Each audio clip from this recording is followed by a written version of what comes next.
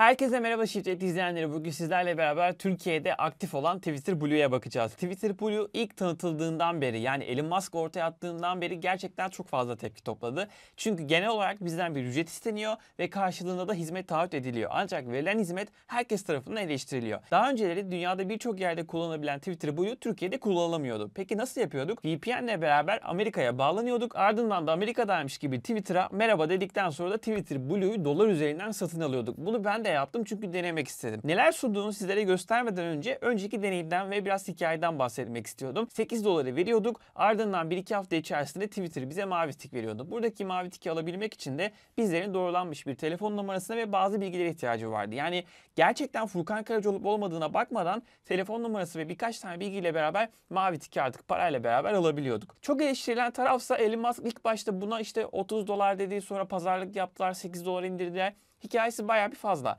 Ama günün sonunda artık sizler bir iOS yani iPhone'dan ya da direkt olarak webten Twitter'a girdiğinizde Türkiye'de aktif olan Twitter Blue'yu Türk lirasıyla beraber satın alabileceksiniz. 8 dolar normalde işte güncel kurla çarptığınız 160 lira civarında bir ücretti. Ben bunu artık vermek istemediğim için bırakmıştım. Peki Türkiye'ye özel bir fiyatlandırma var mı? Bizlere neler sunuluyor? Şu an almak mantıklı mı? Gelin buna yakından bakalım. İlk olarak sizleri bilgisayarıma götürüyorum. Arkadaşlar şu anda Twitter'a girmiş bulunmaktayım ve benim profilimi görüyorsunuz. Burada gördüğünüz gibi herhangi bir şekilde mavi tikim yok. Daha önceleri başvurdum ancak şu anda yeterli görmüyoruz diyerek vermediler. Ama ne zaman ki 8 doları Amerika'daymış gibi gösterip bastığımda bana mavi tiki verdiler. 2-3 ay boyunca kullandım. Ondan sonra kendimce sebeplerden dolayı almayı bıraktım. Bu biraz kişisel. Yani zaten özellikleri sizlere gösterdikten sonra sizler görmüş olacaksınız. Şimdi sol tarafta normalde Twitter Blue yoktu Türkiye'deki kullanıcılar için. VPN'le bağlandığınızda aynen bu şekilde çıkıyordu. Şimdi gelin sizlerle beraber sol taraftaki Twitter Blue'ye bir basalım. Ardından da karşımıza ne çıkıyor buna bir bakalım. Diyor ki Onaylanmış telefon numarasına sahip Blue aboneleri onaylandıktan sonra mavi onay işareti alabilir. Yani sizler telefon numaranızı doğruladıktan sonra örneğin şu anda çekimi Gürhan izliyor. Ben Gürhan Gürsoy'um diyerek mavi tik alabiliyorsunuz. Yani mavi tikin aslında doğrulanmış hesap olayı birazcık burada etkisini bence yitirmiş durumda ama mavi tiki almış oluyoruz. Tüm mevcut Blue aboneleri bize bakalım ne sunuyormuş. Tweet'i düzenleme özelliği sunuyor. Sizler tweet attıktan belirli bir süre sonra tweet'i düzenleyebiliyorsunuz. Peki ne oluyor? Sizlerin tweet'i düzenlediği aslında gözüküyor ve gidip geçmiş sürüme bakabiliyorsunuz. Yani tepki çeken bir şey söyledikten sonra ben bunu düzeltir kurtulurum gibi bir düşünce yok. Çünkü sürüm geçmişini görebiliyorsunuz. Peki mantık ne? Noktalama hatası olur, eklemek istediğiniz bir bilgi olur. Bunun gibi şeyler için tweet'i düzenleme özelliği geldi.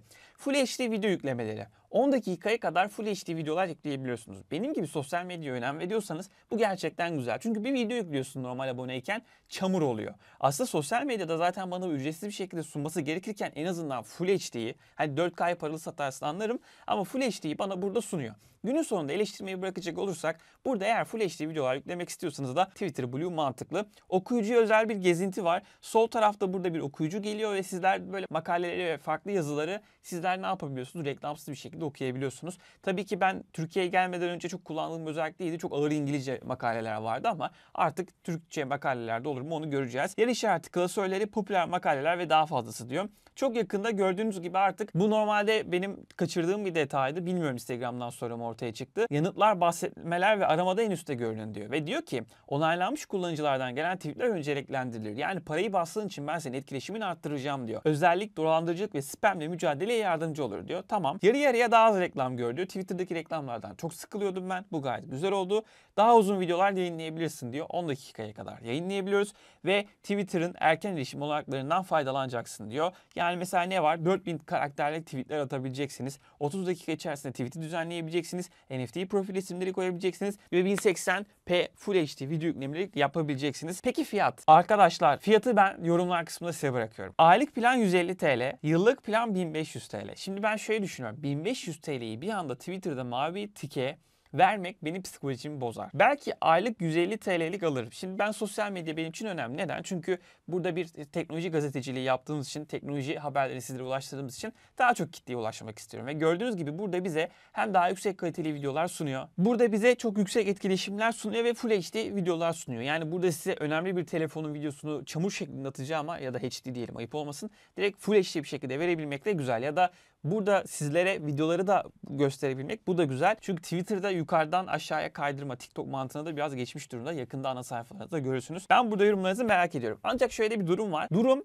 telefonda biraz değişiyor. Peki nasıl oluyor? Gelin göstereyim. Şimdi ekran kaydını şöyle şuraya koymak istiyorum arkadaşlar. Sol tarafa geldiğinizde resminize bastığınızda burada Twitter Blue'yu görebiliyorsunuz. Hemen buraya tıklıyorum ve gördüğünüz gibi aslında web sürümünün aynısını bizlere gösteriyor ama o da ne? Fiyat 2200 lira. Biraz önce 1600 liralık bir fiyat vardı ve ne oldu? 2200'e çıktık. Peki aylıkta durum ne? Aylıkta 209 lira. Biraz önce neydi fiyat? 150 liraydı. Peki aradaki fiyat farkı nereden geliyor? Twitter'ın Apple ödemesi gereken ücretler var ve bunları da sizden dolaylı bir şekilde almak istiyor. Bu da çok normal. Benim sizlere bir tavsiyem var. Eğer sizler Twitter Blue olacaksanız internet sitesine girin. Webten yani bilgisayardan girin. Herhangi bir şekilde komisyon ödemeyin. Ardından da ne yapın? Sizler buradaki Twitter Blue'yu kullanın. Bu da benden size 700-800 liralık fark etmeyenler için bir taktik olmuş olsun arkadaşlar. Hemen ben ekran kaydını da bitiriyorum. Videoyu da burada kapatıyorum. Lütfen yorumlar kısmına yazın. İşin özü şu. Ben bu Twitter Blue'yu alabilirim ama bunu sırf daha fazla etkileşim ve aynı zamanda Full HD videolar için alabilirim. Belki 4000 tweet için alabilirim. Twitter'daki mavi tik aslında herkeste olacağı için